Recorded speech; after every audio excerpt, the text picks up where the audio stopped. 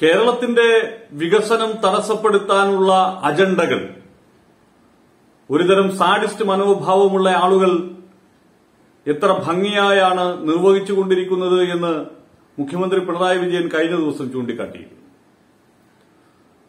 കിഫ്ബി എന്ന കേരളത്തിന്റെ വികസന കുതിപ്പിന് വളരെ കൃത്യമായ സാമ്പത്തിക അടയാളപ്പെടുത്തലുകൾ നൽകിക്കൊണ്ടിരിക്കുന്ന ഒരു ധനകാര്യ സ്ഥാപനത്തെ താറടിച്ചു കാണിക്കാനുള്ള അതിഗൂഢമായ നീക്കം.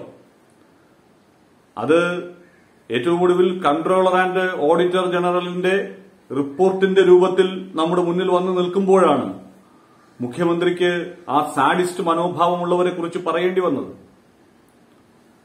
എത്രയോ നാളായി ഇത് തുടങ്ങി.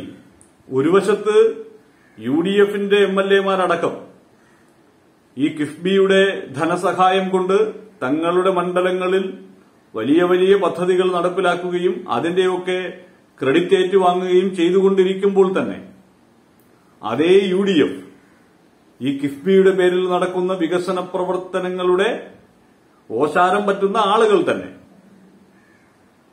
ഇതുപോലെ കൺട്രോളർ ആൻഡ് ഓഡിറ്റർ ജനറലിന്റെ ഒക്കെ തട്ടിക്കൂട്ടിയെടുത്ത റിപ്പോർട്ടുകൾ അല്ലെങ്കിൽ ചില ഗൂഢലക്ഷ്യങ്ങളോടുകൂടി തയ്യാറാക്കിയ റിപ്പോർട്ടുകൾ ആ റിപ്പോർട്ടുകളുടെ പിൻബലത്തിൽ സർക്കാരിനെതിരെ ആരോപണം ഉന്നയിക്കാൻ നടക്കുകയാണ്.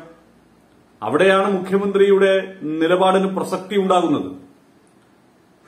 തുടങ്ങിവെച്ച ഒരു വികസന പദ്ധതികളിൽ നിന്നും പിന്നോട്ട് പോകാൻ ഒരു ഇഞ്ച് പോലും പിന്നോട്ട് പോകാൻ തയ്യാറല്ല എന്നുള്ള നിലപാട് പ്രഖ്യാപിക്കുന്നത്. അതാണ് ഒരു ഭരണാധികാരിയുടെ ഇച്ഛാശക്തി.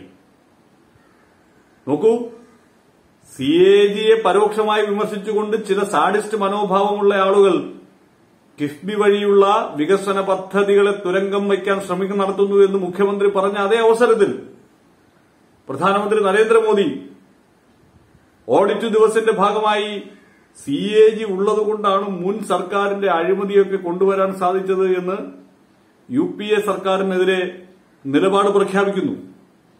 ഓർത്തു നോക്കണം.